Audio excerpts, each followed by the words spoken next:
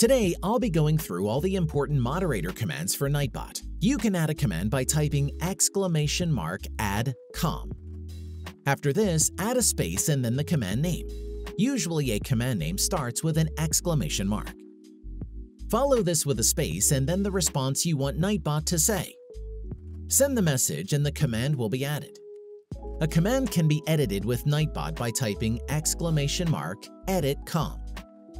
Add a space to the end, then the name of the command that you want to edit.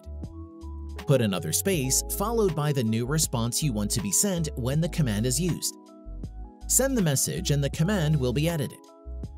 You can delete a Nightbot command by typing exclamation mark del com followed by a space, then the command name you want to delete.